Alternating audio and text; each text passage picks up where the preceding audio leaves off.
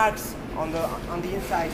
You see the plastic envelope marks, the fold of the plastic envelope. So you can say, okay, it's an infused sandwich, balsa core sandwich herb, which is not the same for the 440. We saw that it's end layer. So that's the difference between the two boats.